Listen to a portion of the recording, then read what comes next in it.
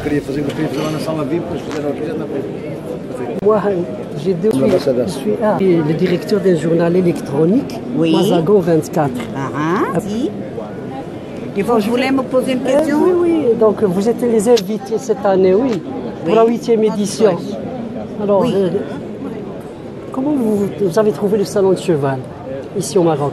Moi, vous savez que c'est mon premier salon. C'est la première fois que je viens parce que je suis arrivée ici au Maroc en décembre.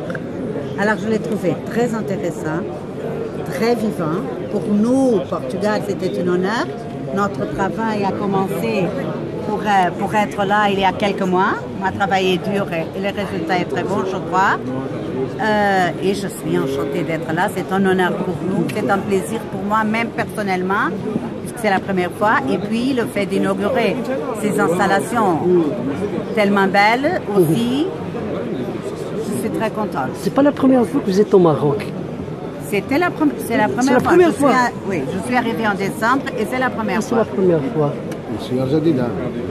Ah, El Jadida. El. Jadida la première fois. Non, non, à Al Jadida, c'est la deuxième. La J'avais déjà été à Al Jadida il y a quelques mois, en tourisme. Merci De infiniment. rien. En plaisir. cas, il y a une autre chose très importante. Oui. Pour nous, c'est un, un double honneur d'être ici. Pour les connexions historiques qu'il y a entre Portugal et Algédida et Massagan. Ah, d'accord, Et- la et cité portugaise. Oui, la cité portugaise et tout- toutes les choses, que, et les connexions qui existent en Portugal et qui sont historiques.